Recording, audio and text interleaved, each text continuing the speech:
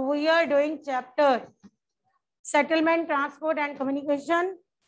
We have read about settlement, two types of settlement, permanent and temporary. Then we have read about urban and rural settlement. Is it clear? And we are living in permanent settlement in urban areas. Yesterday I've started means of transportation. Okay? And four means of transport. Roadways, railways, roadways, railways, waterways, and airways. Most common means of transport roadways we have. It provide door-to-door service. ठीक है easy to आप कह सकते हो carry goods to narrow markets available everywhere In hilly areas in plains plains में तो हम कहेंगे गुड नेटवर्क ऑफ़ रोडवेज़ तो इजिली अवेलेबल माउंटेनियस रीजन में भी है हिमालयन रीजन में Manali Leh highway in Himalayan region is one of the highest roadway in the world. Which is highest roadway in the world? Next, road built underground are called subways, underpaths. Road built underground. उन्हें क्या कहेंगे? Subways or underpath. Is it clear?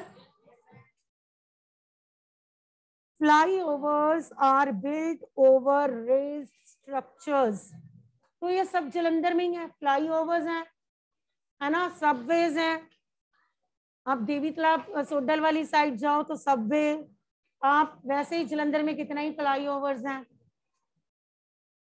तो first of all tell me what you mean by subway road builds underground very good road builds underground are called Flyovers built over raised structures.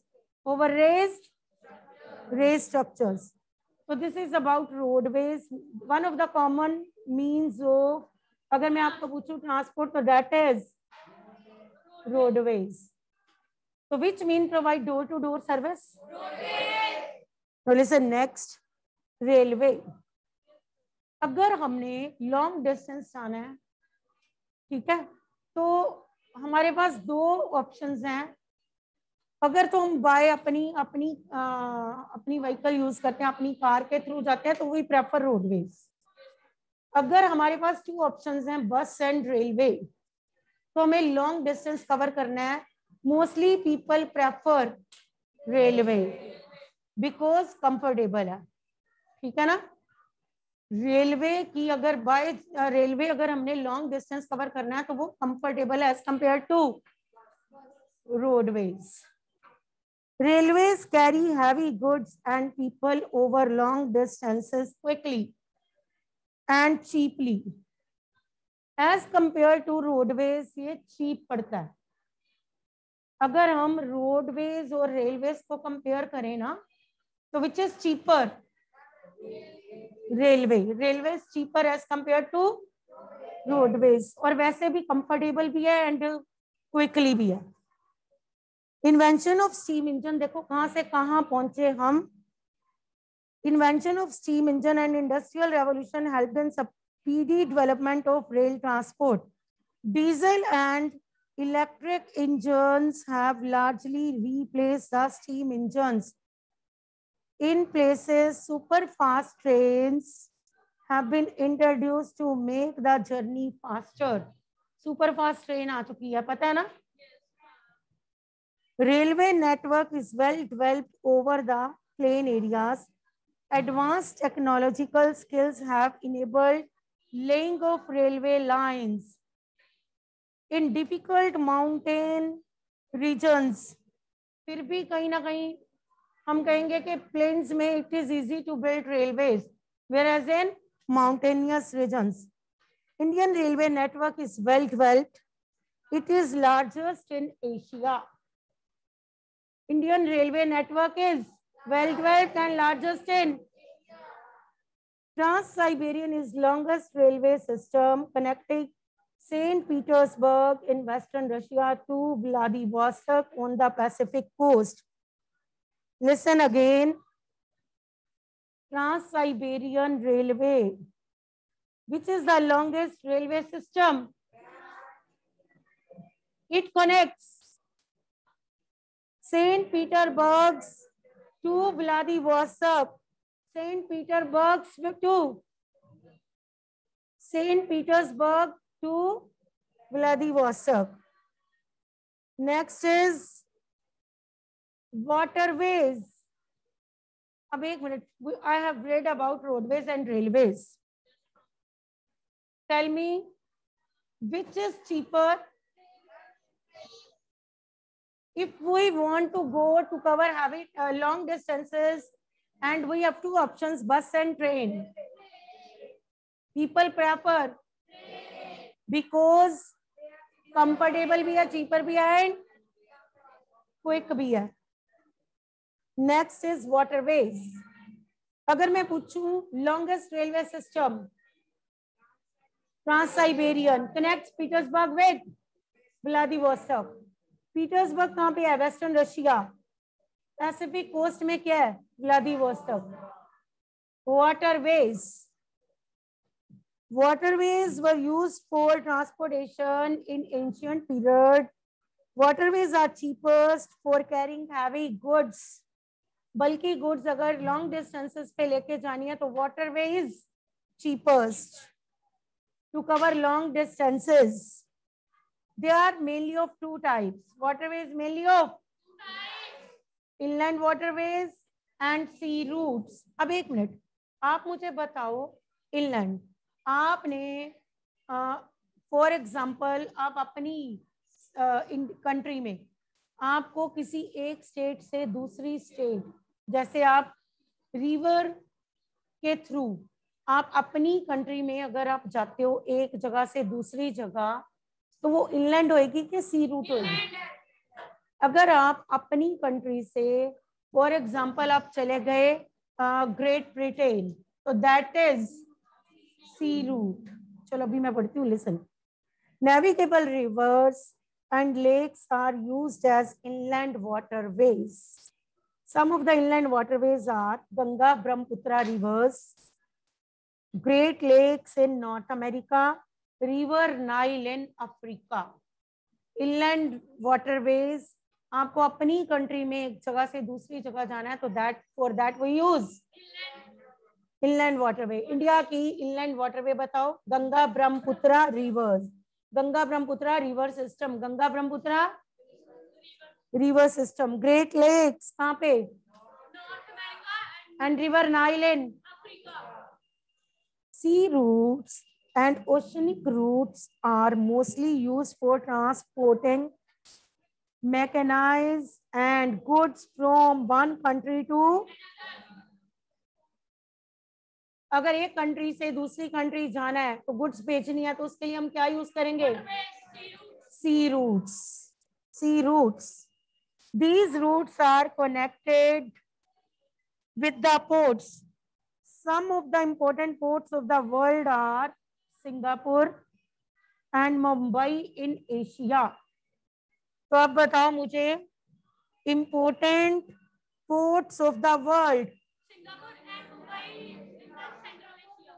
Singapore and Mumbai in Asia New York Los Angeles in North America New York and Los Angeles in North America Rio de Janeiro in South Durban and Cape Town in Africa, Sydney in London and Rotterdam in. So these are the important sea routes. Is it clear? Asia के बताओ Singapore and very good. Singapore and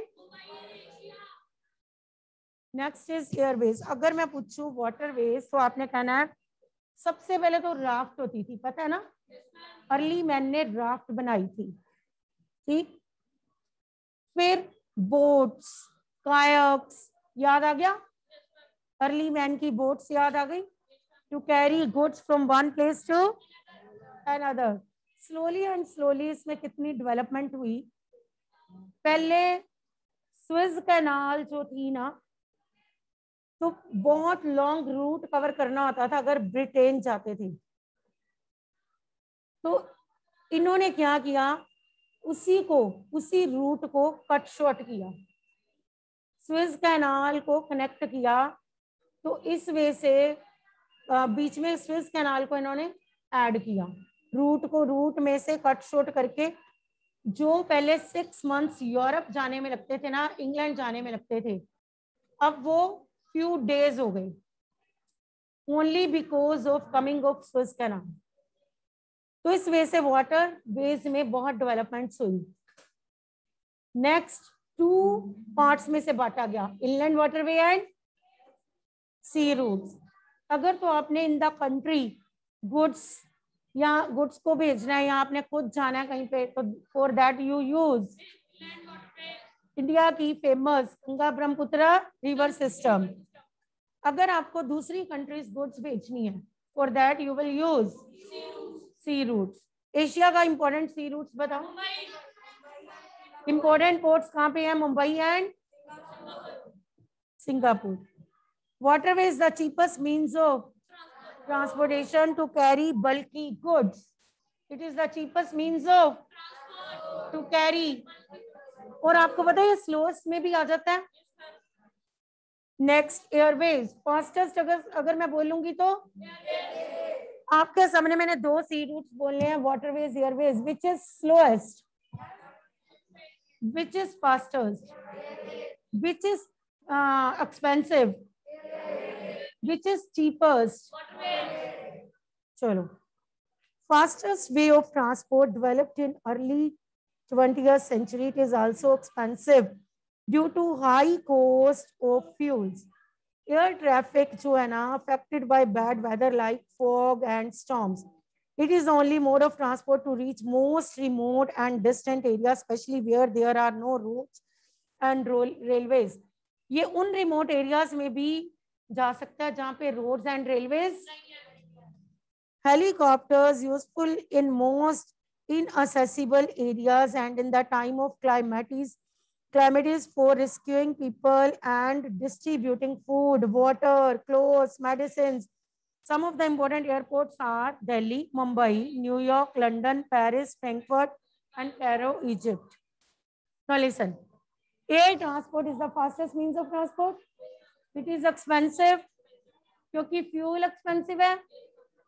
next it by this we can cover long distances with in few hours next फिर आप कह सकते हो कि air transport ये जो है it use in the remote areas also where there are no roads and जहाँ पे रेलवेज एंड रोडवेज़ नहीं है, वहाँ पे कौन सी ट्रांसपोर्ट फिर इजी है?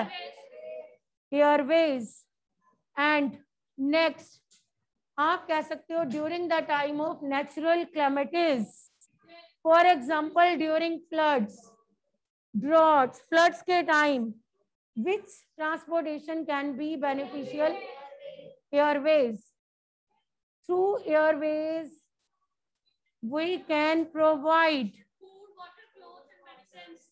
food water clothes and तो it helps to rescue the people from disturbed areas. जहाँ पे natural calamities से जो areas disturb होते हैं वहाँ से लोगों को rescue किया जाता है through air transport. Next is communication. Process by which we can send messages to the individual or to large number of people that is known as sending and receiving messages is known as communication sending and receiving messages is known as it is of two types personal and mass personal आपने अपने friend को phone किया that is आपने अपने friend को letter भेजी that is personal letter भेजी that is personal आपने व्हाट्सएप मैसेज फ्रेंड को भेजा अब वही मैसेज क्लास टीचर ने पूरी क्लास को ग्रुप में भेजा दैट इज़ मास अब newspaper mass radio television means by which we can send message only to our friend and relative that is known as personal means of and means by which we can send messages to large number of people. Example of mass communication, radio, television and newspaper. Example of personal communication? और? आप बताओ पर्सनल के। Telephone और letters क्योंकि अब की date के बच्चे लेटर्स तो लिखते नहीं है तो इसलिए तुम्हें पता नहीं है। लेटर्स टेलीफोन एक्सेट्रा तो अगर मैं पूछूँ इनमें से फास्टेस्ट टेलीफोन विद इन आप इमीजिएट आपके इमेजिन किसी बच्चे के पापा यहाँ से अमेरिका रहते हैं, ठीक है? तो आप एक मिनट में उनके साथ बात कर सकते हो with the help of telephone कर सकते हो ना? With the help of telephone you can talk to your father या और आपके पेरेंट्स ही बाहर रहते हैं। You can talk to your grandparents बाहर रहते हैं। You can talk to them with the help of telephone immediately है ना?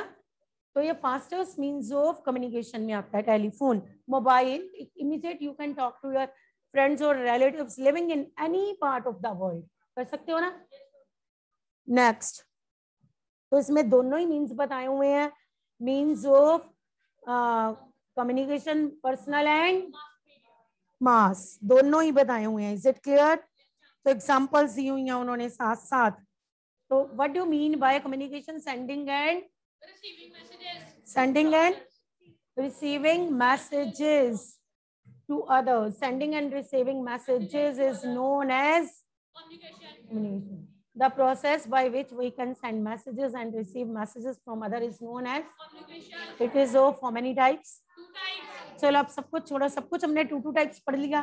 मैं पूछूँगी वाटर ट्रांसपोर्ट बताओ two types inland and very good inland and which is the common means of transport roadways क्यों common है? Because it providers very good. Door to door.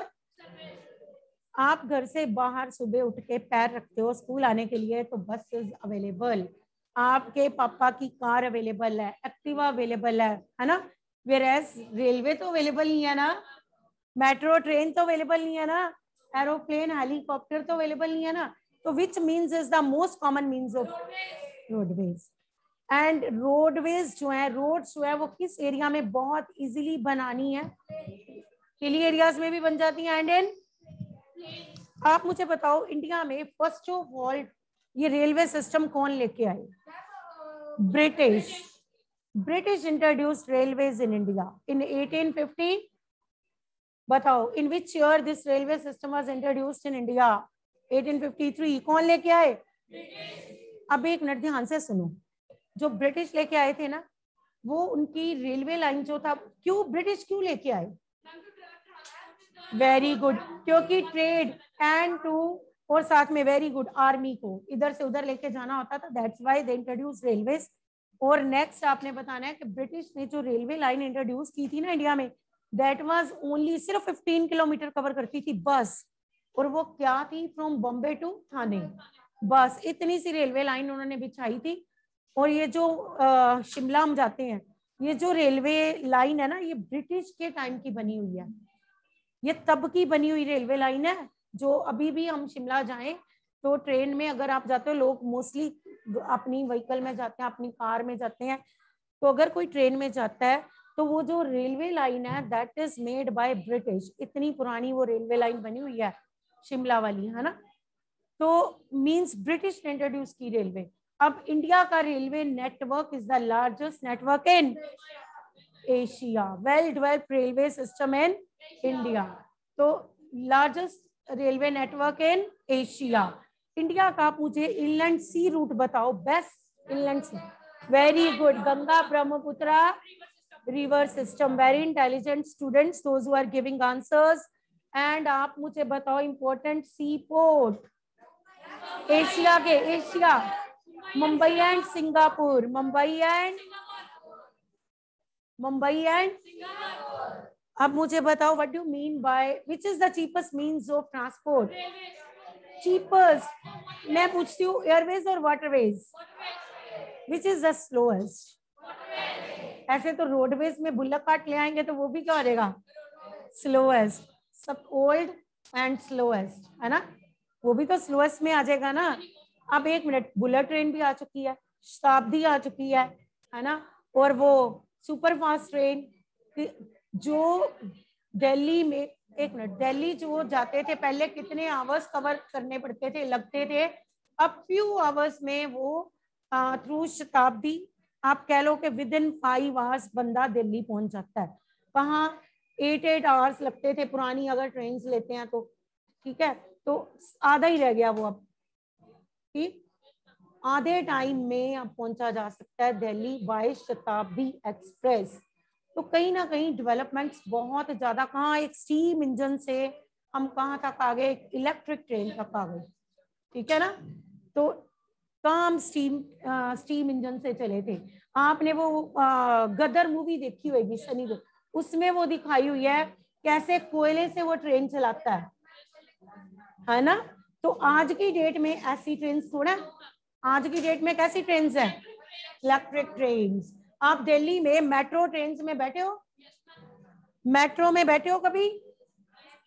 तो आप उसमें भी अगर जब आप दिल्ली जाओ, आप मेट्रो में भी बैठना, ठीक है? वहाँ पे मेट्रो वहाँ के जो बच्चे हैं ना, वो इतने मतलब कह लो कि एडवांस कह लो कि वो बच्चे घर से स्कूल जाते हैं तो आपको तो आपकी ट्रांसपोर्ट फैसिलिटी अवेलेबल है, आप घर से पैर रखा तो आपकी ट्रांसपोर्ट फैसिलिटीज़ अवेलेबल दिल्ली के बच्चे क्या करते हैं?